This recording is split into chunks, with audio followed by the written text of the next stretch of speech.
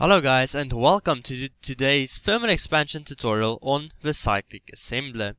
So first thing of, well if you look at it you just see the power, these two are both inputs, you have to put a schematic in here and this is the output. This is basically an automa automatic crafting table for thermal expansion. Now it does require 20 RF to function. I'm only not saying this because if you need it because with this machine it actually matters. Okay, so let's say so I've put the stone tool rod schematic in there. So you it won't actually craft out of your own inventory. You have to put it in the machine's inventory. As and as you can see, it will pretty fast make you all the stone tool rods that you can possibly want. So if you were say want to make something with buckets like bog earth, you have to put in the dirt, put in the sand, and for every bucket you put in, you will get your bog.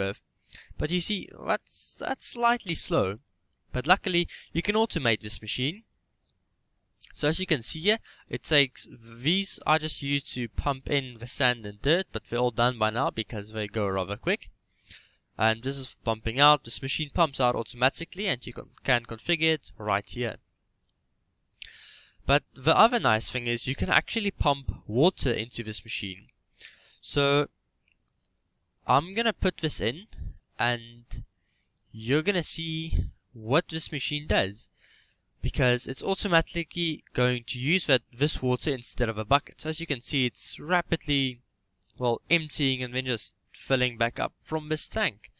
Now as you can see it makes it works very very fast. This is a a very efficient machine and I will pro probably run out of water before it has used up all this earth. I know it used up all the earth with stick, all the water with six stacks with quite a bit left over, so let's see how far it goes.